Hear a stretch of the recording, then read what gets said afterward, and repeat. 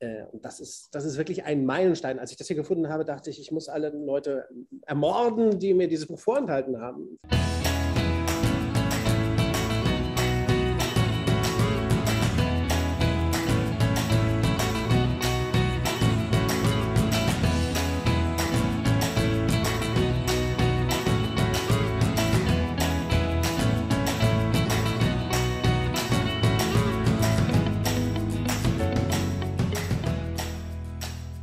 Anke, machen wir noch ein Impromptu? Nee, wir machen kein Impromptu Nein. mehr. Ne? Nein. Nein. Jetzt kommen wir zu dem wirklich äh, spannenden und sehr, sehr coolen Teil, denn wir äh, freuen uns heute wirklich sehr. Wir haben zwei besondere Gäste mitgebracht für unser Intro. Zum einen den Nils Pfleging und den, ah genau, da ist er auch schon, und den Peter Boll. Ja, genau. Und die zwei Partner in Crime vereint die Leidenschaft, pointiert und nicht selten aufrüttelnd dazu einzuladen, die Organisationswelt von X auf Y zu krempeln. Ja, und wir sagen nochmal ganz herzliches Willkommen. Wir freuen uns und ja, legt los, ihr Lieben. Danke, danke. Nils, schön, dass du mit dabei bist und dass wir das zusammen machen. Wir haben ein gemeinsames Anliegen auch immer, wenn, wenn wir an Management denken. Magst du da zwei Sachen dazu sagen, zwei Worte? Na, ich denke, einer der Anlässe, warum wir dieses Thema uns gewählt haben für, diese heutige, für diesen kleinen Impuls, äh, Managementgeschichten, Managementgeschichte, Managementgeschichten in der doppelten Bedeutung. Einer der Gründe ist sicherlich dieses äh, wunderbare White Paper, äh, das jetzt endlich in deutscher Sprache erschienen ist. Ähm, White Paper Nummer 17 des Beta Codex Network ähm, heute ist das 25. deutschsprachige Meetup. Das ist das White Paper Nummer nur 17 des Beta Codex und ist gerade erst auf Deutsch erschienen. Vorher war es ja nur auf Englisch erhältlich. Das ist halt wirklich ein, ein, ein, ein Paper, in dem wir den Versuch machen, äh, wunderbarerweise übrigens übersetzt von ähm, Diana Mock, äh, Elisabeth Sechser und, äh, und Hans. Hans Schölch. Mhm. Ähm, indem wir den Versuch machen, die Geschichte des Management äh, so zu erzählen, wie sie wirklich war. Äh, es klingt ein bisschen komisch, als ob die Geschichte des Management inkorrekt erzählt wäre. Das ist aber tatsächlich so. Ähm, und in dem, in dem Paper dröseln wir das auf, warum man die Geschichte des Management eigentlich ganz anders erzählen sollte, nämlich als die Erfindung zweier Managements, die da vor 100, 110, 120 Jahren stattgefunden hat. Mit ja. zwei Schulen des Managements, die Tayloristische Schule, wie wir die da nennen in dem Paper, und die Folletianische Schule. Die offizielle Geschichte, wie man es in Lehrbüchern findet, äh, von Management, beginnt mit Frederick Taylor und mündet dann in so eine klassische Schule ein. Da gibt es eine Human, äh, Humanized Schule. Äh, Mary Parker Follett beispielsweise lässt sich in diesem Narrativ von Managementgeschichte gar nicht verorten. Äh, das klassische Narrativ von äh, Managementgeschichte ist tatsächlich falsch. Das können wir jetzt behaupten, ihr könnt es aber nachforschen. Ich habe so ein, bestimmt so einen Stapel von Management-Geschichtsbüchern, in denen überall so ein verkorkstes Narrativ äh, drin ist, in dem Mary Parker Follett beispielsweise überhaupt nicht reinpasst. Also es darf sie gar nicht geben, diese Person. Ähm, es gibt sie aber, das ist ein Fakt. Und äh, wir haben in diesem Paper das halt mal umgedreht und äh, es so dargestellt, wie es wirklich war. Und ähm, naja, ähm, eigentlich glaube ich, Silke, Hermann und ich, wir haben das Paper ja vor zwei, drei Jahren äh, veröffentlicht ich glaube eigentlich, das sollte hohe Wellen schlagen. Ne? Aber es gibt nicht nur eine Version der Geschichte von Management, es gibt mehrere und dazu haben wir uns auch noch ein paar Bücher ausgesucht für den heutigen Tag, die wir euch nahelegen und vorstellen möchten. Sozusagen persönliche Top 4. Genau, und dann machen wir einen Countdown. Ähm, das erste Wort bei mir, das letzte bei dir, Nils. Was Sehr hältst gern. du davon? Fang du mal an. Was ist dein Top 4 Buch? Meine Top 4, wir gehen von 4 runter, ist tatsächlich ein Buch mhm. von äh, von zwei aktuellen Wirtschaftsprofessoren. Das ist Past, Present and Future of Sustainable Management, das genau wieder in diese Richtung geht. Also ich mag diese Professoren, weil diese beiden äh, der Steve und der Todd äh, sich tatsächlich bemühen darum, diese Geschichte nochmal anzuschauen. Sie haben auch äh, wirklich sehr gute Artikel geschrieben, die man unabhängig von diesem Buch jetzt lesen kann. Werden wir auch verlinken unter dem Video unten drunter, zum Beispiel zu Change as Three Steps oder ähnlichen Sachen zur, zur Maslow-Pyramide und all das, was Sie jetzt entlarven, wo Sie sich um die Geschichte bemühen.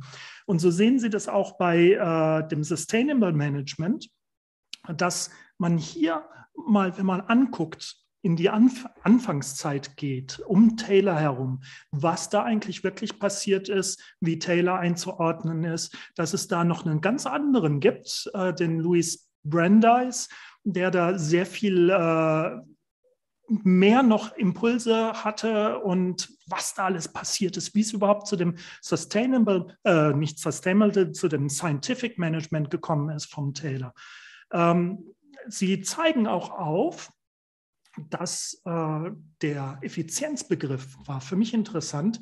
Äh, damals eher das war Effizienz Conversation, Conversation von Natur, natürlichen Ressourcen, äh, dass man dort sehr in Richtung Umwelt gedacht hat. Dass das untergegangen ist ähm, und wieso, dazu gibt es dann entsprechend Erklärungen und es ist also wirklich äh, eine, eine sehr interessante Lektüre.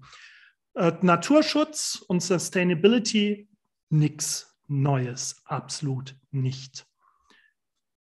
Meine vier. Nils. Meine Nummer vier ist, ähm, reicht auch ganz weit zurück, äh, reicht aber ähm, bis fast ins Heute und beschäftigt sich mit radikalen Denkern von Management. Das ist das wirklich Außergewöhnliche an diesem Buch. Ähm, das ist geschrieben von einem, dem Herausgeber einer amerikanischen Managementzeitschrift, die heißt Strategy and Business. Jetzt heißt sie nur noch Strategy and. Und dieser Art Kleiner, der Autor, war, ähm, glaube ich, 15 Jahre Chefredakteur dieser oder Herausgeber dieses. Ah, danke, du zeigst es auch. Äh, The Age of Heretics heißt das Buch. Und das verfolgt die Spuren radikaler Managementdenker von Frederick Taylors Zeit. Sogar noch davor setzt es an, äh, bis in die nahen 1970er, 1980er, 1990er Jahre. Endet mit Leuten wie Tom Peters, von dem ich auch, äh, von dem wir, glaube ich, auch sehr viel halten, Peter. Ähm, radikale Denker werden hier hervorgehoben. Ähm, und das ist sehr interessant. Das ist eines der wenigen Bücher, das Kurt Lewin eben ganz zentral als Person platziert in der Geschichte des Management, aber natürlich auch Douglas McGregor und andere. Das ist vielleicht so das pfiffigste, raffinierteste, interessanteste, dichteste Buch zur Geschichte des Management, das man sich vorstellen kann. Ich kann das nur sehr, sehr empfehlen. The Age of Heretics, Art Kleiner. Ja, deine Nummer drei. Meine Nummer drei. Achtung, anziehen, nur lesen, wenn draußen die Sonne scheint. Ein ziemlich heftiges Buch und trotzdem unglaublich wichtig und interessant, wenn es darum geht, Management zu beleuchten und vor allen Dingen auch sich mal so ein bisschen Gedanken zu machen zu Management, wie es heute äh, populär ist. Ich meine agiles Arbeiten, New Work und Co. Das Buch beschreibt sehr, sehr schön, wie es überhaupt zu den äh, Nachkriegs-, Nach-Nazi-Zeit Management-Schulen gekommen ist und es beschreibt sehr schön, wie diese Managementschulen in der Nazizeit entstanden sind und auf welchem Gedankengut die aufgebaut haben. Es beschreibt vor allen Dingen auch ähm, mit einer, äh, also ich bin jedes Mal wieder bei jeder Seite fast da gesessen und habe gedacht, what the fuck? Weil sämtliche ja, Hypes, die wir haben im Moment im Agilen, nichts Neues sind, da wiederzufinden sind. Und jetzt kommt das Wichtige. Ähm, das Lesen des Buches hat mich nochmal darauf geschärft, wie wichtig es ist, sich mit sozialen Systemen auseinanderzusetzen, um zu sehen, wo sind die Gefahren? Was muss man an sozialen Systemen wirklich ähm, entsprechend beachten, damit sie nicht in Missbrauch enden? Heute geht das nicht mehr so einfach wie der Nazi-Zeit. Heute gibt es Gott sei Dank einen demokratischen Staat und Rechte, die das Schlimmste verhindern. Aber dennoch führt, wenn man sich dieser äh, Dynamiken nicht bewusst ist, führt das zu Mobbing in Unternehmen, äh, zu unguten Dingen. Das ist also wirklich heftig. Ich habe ein Zitat mitgebracht äh, zu dem Thema Leader. Man muss ja heute Leader sein und nicht Manager. An die Stelle des alten, aus der Zeit des Absolutismus stammenden Gegensatzes zwischen Fürst und Untertan trete nun das Begriffspaar Führer Genosse, das unvereinbar sei mit einer politischen Herr-Knecht-Beziehung. Wenn der Führer entschieden habe, dann habe sich in ihm der Wille der Gemeinschaft gebildet.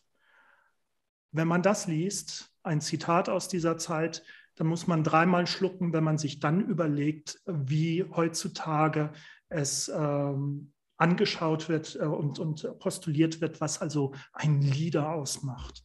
Das ist schon erschreckend. Mein Buch Mal das drei.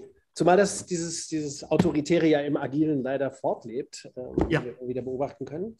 Ja. Meine Nummer vier ist, meine Nummer drei, drei Entschuldigung, meine Nummer drei ist auch ein Buch, das äh, versucht, die Anfänge von Management verständlich zu machen und übrigens auch äh, unsere totale Fehleinordnung von Veränderungsarbeit oder Change.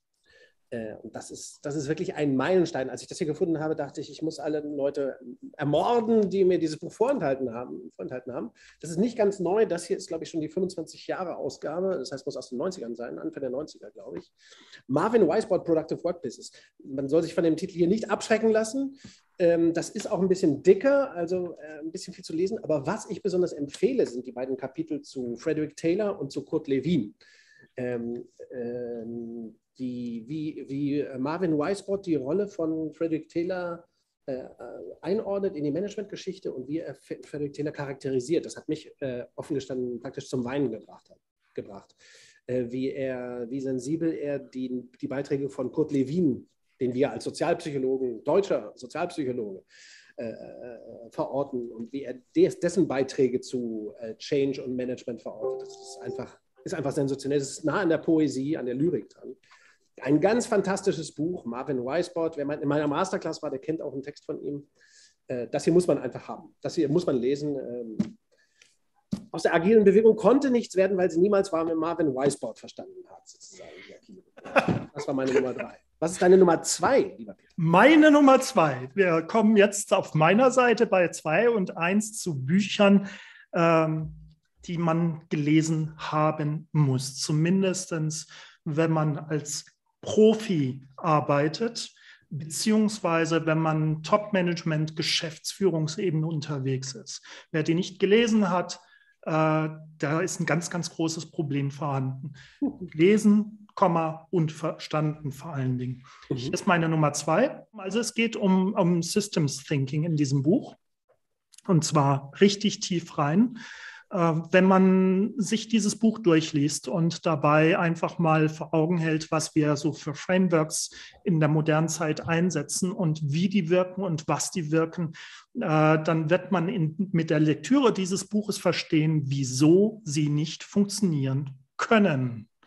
Ähm, es ist also nicht so sehr eine Sache, die sich auf historisches Management oder auf Management-Historie ansiedelt, aber es ist ein wunderschönes Buch, um äh, mal auf den Punkt zu kommen, um zu denken, um zu kapieren, was läuft hier und was läuft hier nicht. Also eine Aussage, die er sagt, äh, wir sind sehr, sehr, sehr symptomfokussiert und dass unsere Probleme, die wir haben, oft als Events dargestellt werden oder, oder gesehen werden, dass wir Events sehen und in diesen Events die Probleme sehen.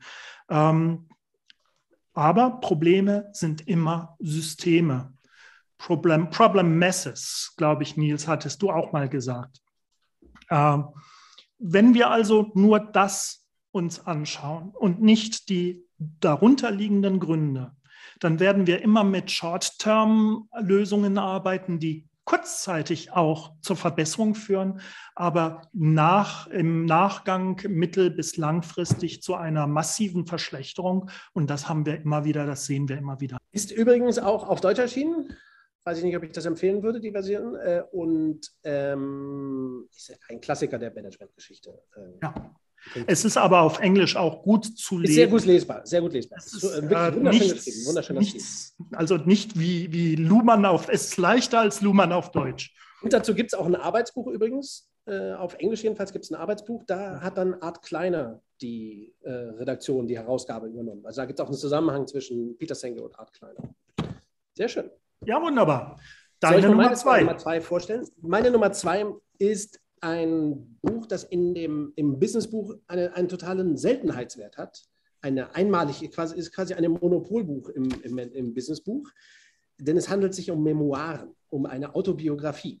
Und das gibt es ja ganz selten. Peter Drucker hat eine Autobiografie geschrieben, äh, die ist sehr schlecht, aber äh, Warren Bennis, den ich gerne den Hemingway äh, des, der Managementgeschichte nenne, Also ein wirklicher Storyteller, ein wirklicher Erzähler, ein, ein unfassbar weiser, äh, wunderschön geschriebenes Buch hier. Äh, das sind tatsächlich seine Memoiren. Ganz besonders interessant für jeden, der sich für Beta interessiert, ist natürlich, er war der Hauptschüler von Douglas McGregor. Er hat auch das unvollendete äh, zweite große Buch von Douglas McGregor fertiggestellt. Und Ben ist selber eine Autorität geworden im Bereich Leadership. Äh, viele Begriffe, die er benutzt in diesem Buch, denen, denen, würden wir so heute nicht zustimmen, sicherlich. Also wie er Leadership definiert, dem muss man nicht unbedingt zustimmen. Aber dieses Buch ist wunderschön, ein, ein, ein wunderschönes, fettes, sauinteressantes Leben eines äh, Großdenkers der, der Managementgeschichte. Ähm, er trifft äh, Literaturnobelpreisträger, ist an politischen Bewegungen äh, beteiligt. Äh, es geht ums Essen. Ähm, meine Liebe zur Abalone habe ich zum Beispiel von Warren Bennis geerbt, dank dieses Buchs. Ich kann das nur euch allen sehr ans Herzen legen, wenn man was Wunder Wunderschönes über Managementgeschichte, eine wunderschöne Interpretation der Managementgeschichte lesen will, mit ganz vielen Figuren, die wir als Beta-Vordenker auch bezeichnen würden. Dem sei das Buch hier empfohlen. Still Surprised, schöner Titel auch. Ne, für, ich bin immer noch überrascht. Gestorben ist er, glaube ich, vor zehn Jahren ungefähr. Also es ist recht aktuell und äh, ganz, ganz toll gemacht. So. Kommen wir schon zu deiner Nummer 1, Peter. Jetzt kommen wir schon zu meiner Nummer 1. Exakt. Eben hast du den Namen schon genannt. Und dieses Buch. Vom Schüler zum Lehrer. Darf natürlich nicht fehlen. Es darf nicht fehlen. Es äh, ist ein Buch, wenn man sich äh, nicht nur die genialen Artikel von äh, meinem Kollegen Nils Pfleging über Theorie XY anschaut und über das Paradox, was dahinter steckt, sondern wir werden den Artikel mal verlinken zu dem äh, äh, Theory XY und zu dem äh, McGregor-Paradox. Der ist sehr gut gelungen. Danke dir, Nils. Ähm, das Buch an sich ist neben, dass man nochmal Theorie X und Y aus erster Hand beschrieben bekommt, eine Offenbarung. Äh, wer sich damit beschäftigt, mit der Frage, was bitteschön hält uns in Command and Control, der bekommt dort ein paar sehr saftige und klare Antworten. Es ist auch hier ähm, ein, ein gut lesbares Englisch und es ist eine Offenbarung. Absolut. Übrigens ganz interessant Natur. an dieser Ausgabe, du hast ja da die, die äh, 25 oder ja. 45-jährige Ausgabe einige der Kommentare sind so, dass ich sagen würde, ist alles falsch, was da drin steht. Äh, ist ja. total, also es widerspricht allem, was, das sind Kommentare in dieses Buch eingebaut von heutigen Kolleginnen und Kollegen. Ja. Ähm, Rosbeth Moss-Kenter oder sowas hat einen fürchterlichen Kommentar geschrieben, der ist ja. meiner Meinung nach komplett Banane, aber es steht alles drin und also es widerspricht, sie widerspricht in diesem Buch, dem Buch, also es ist Wahnsinn. Da kann es man also kritische Lektüre dann. Absolut. Also wenn man die Kommentare anguckt und die Vorworte, die da drin sind in dieser äh, Annotated Edition, dann ist es tatsächlich so, dass man live sieht, wie äh, hier mit, äh, ja, mit, diesen, mit diesen ganzen spinnernden Annahmen gearbeitet wird und daran festgehalten wird. Also ja. exakt das gemacht wird, was uns äh, der Douglas McGregor in seinem Buch beschreibt als genau, das. Was man nicht tun sollte ist der Hammer, ist genau. der Hammer an der Stelle. Genau. Ja. Danke, Nils. Genau. Kann man also in mehreren Dimensionen äh, lesen, das Buch. Meine Nummer eins ist auch ein totaler, das, weil das eben war ja von äh, 1960. Äh, Wir sind jetzt in den 70er Jahren. Managementgeschichte, Managementgeschichten. Also das hier ist quasi Managementgeschichten, könnte man sagen. Äh, ein praktizierender Manager jener Zeit der 1970er Jahre Robert Townsend hat dieses Buch geschrieben. Äh, das ist also eine Ewigkeit her. Da, noch vor meine, meiner Geburt ist das Buch geschrieben worden, tatsächlich 1970. Es war auch ein Bestseller. Das Interessanteste daran, an, oder was faszinierend ist, finde ich, an diesem Buch, ist, dass er den Beta-Kodex, ohne ihn theoretisch auszubuchstabieren, in der Praxis, Praxis ausbuchstabiert. Es stehen da wunderbare Sätze drin zum Thema Office Hours, also Arbeitszeiten. Jeder, der über 150 Dollar die Woche verdient, äh, dem sollte es erlaubt sein, die eigenen Arbeitszeiten festzulegen. Also grundlegende Sachen, die schon 1970 verstanden wurden. Wir tun heute so, als ob das neu revolutionär irgendwie radikal wäre. Ähm, das Schlimmste an diesem Buch ist, Robert Townsend hat das alles schon aufgeschrieben vor 52 Jahren, damit ein Bestseller. Natürlich haben wir das alle hinterher vergessen, verdrängt und möchten es nicht wahrhaben. Aber alles, was vernünftig ist in Sachen Organisation und Management, äh, hat Robert Townsend hier damals schon ausbuchstabiert. Das ist ein unglaubliches Buch. Ich habe mich damals so geärgert, als ich das gefunden habe, weil ich dachte, Wie bitte? Ich musste mir das alles mühsam erschließen und dieser Mann hat es alles schon vor ewigen Zeiten geschrieben. Ich hasse diesen Mann, aber okay, was, es ist einfach ein wunderbares Buch. Sehr knapp, das ist mein knappstes, deswegen kommt es jetzt auch am Ende. Äh, sehr knapp, sehr pointiert, sehr lustig. Also es ist unfassbar lustig zu lesen, gerade weil es wie eine Zeitreise ist. New, A New Work ist gar nichts new. Robert Townsend ist der eigentliche Erfinder, nicht Friedrich Bergmann, lächerlich. Ja. Wollen wir noch einen Bonushinweis geben? Ich gebe noch einen Bonushinweis. Gerade uh, äh, ja. von der Anwesenden muss man natürlich auch lesen. Ist tatsächlich eines der wenigen. Wie viele deutsche Bücher haben wir empfohlen? Nicht so viele, ne? Zwei nur insgesamt mit, mit dem hier. Mit dem sind es zwei, exakt. Ja, die anderen waren tatsächlich englisch. Und äh, den Peter Sanger gibt es ja auch auf Deutsch, haben wir gesagt. Also es ist nicht so viel Gutes zu, veröffentlicht zum Thema Managementgeschichte. Dieses ist vielleicht eine schöne Alternative für diejenigen, die das auch gerne weiter verschenken, unter die Bettdecke äh, und, das, und das Kopfkissen legen wollen und mit Kunst. Ist ja ein Buch von dir. Und, und äh, du hast es anständig gelesen, sehe ich gerade, mit Markierung. Ja, hallo. Äh, was hatte war das die Silke, die gesagt hat, wer seine beim Lesen nicht mehr markiert, hat die Kontrolle übers Lesen verloren oder sowas, so irgendwas in der Richtung. Ne? Genau. Ähm, es ist, es ist sehr schön. Also A, ist es ähm, äh, schön auf den Punkt. Es ist sehr bissig, so wie man den Nils kennt. Und äh, es ist vor allen Dingen sehr schön gelungen, weil es mit diesen schönen Aquarellen nochmal ausgestattet ist. Es hat, äh, man könnte am erst, erst habe ich gedacht, als Nils angefangen hat, hier ein Buch und außerdem sind Aquarelle drin, habe ich gedacht, ja, so what? Ähm, aber es gibt einem ein anderes Lesegefühl. Die sind von einem echten Künstler äh, Christian Rothmann aus Berlin. Äh, übrigens, sehr schön, schließlich auch eine Klammer zwischen dem Paper, das wir am Anfang erlebt haben, äh, erwähnt haben, natürlich und diesen ganzen Buchempfehlungen. Insgesamt haben wir jetzt neun, also achteinhalb Bücher empfohlen, das ist das kleinste sozusagen. Ähm, ihr seid eingeladen, natürlich ist es auch mit uns zu diskutieren. Wir machen gleich eine Session, in der wir über Managementgeschichte, Managementgeschichten reden, äh, gerne auch persönliche Blicke auf Managementgeschichte und Managementgeschichte.